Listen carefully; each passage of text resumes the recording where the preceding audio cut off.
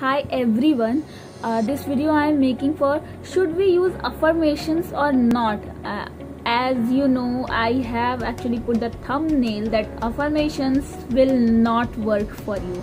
And why affirmation will not work for you i am going to share this. But but guys first of all do not forget to subscribe and click the bell icon because you are going to get all the important information in my channel on my channel and in my videos okay? Yes i talk you know on practical things which no one is actually telling you yes this is true. No one will tell you something you know in deep so that they can get views and subscribers. Obviously we all want views and subscribers but we should we should pass the correct information. There are a lot of people who think that they are separate from god and they they actually are speaking about all kind of law of attraction manifestation. I do not believe in this. Because guys we are the creator of you know of our own reality. So we must think that we are powerful and we are one with god. Then only we will get that confidence. And this is not only for the confidence. You see this is not only for the con- confidence but the truth is we are god because God has created us. God sent gods in every form so that he can experience or she can experience, it can experience because God has no gender. It can experience everything it has made, it has created. Okay, so yes, the video is about yes, the affirmation will not work. Why the affirmations will not work? Because guys see there is a there should be a relation between what you are speaking what you are writing and what you are feeling. If we think that okay chanting this affirmation writing all the affirmation will bring us the result it will not. Why we are writing the affirmation we are affirming. Affirming means we have made the reality. You, you know we are putting a stamp on that that this is my reality.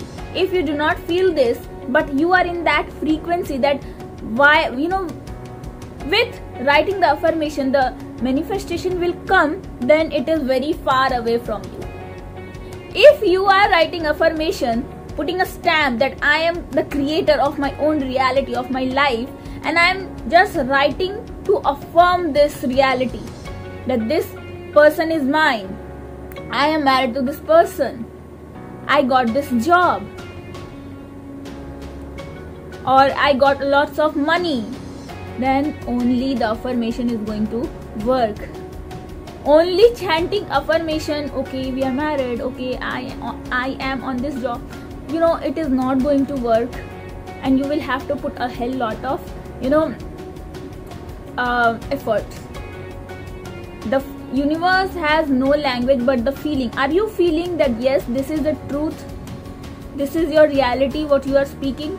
If you do not feel that no the manifestation will not come. This is why i am giving coaching so that you can understand deeply what is exactly happening with you.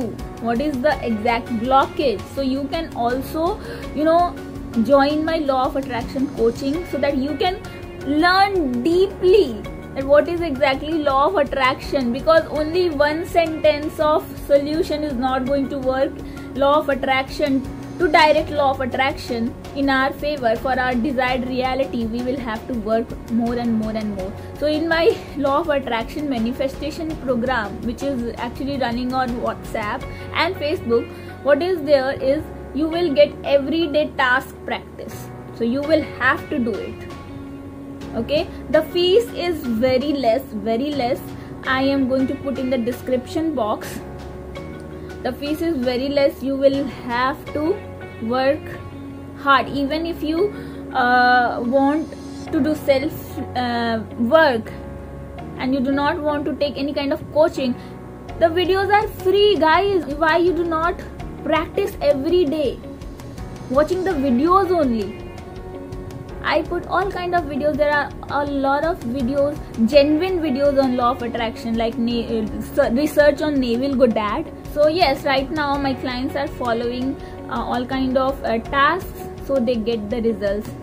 Okay, desperation, obsession is not going to bring you result. Using the affirmation, thinking, writing, and chanting will give you result. No, Using the affirmation is a positive sentence just to affirm, put the stamp that yes, it has happened.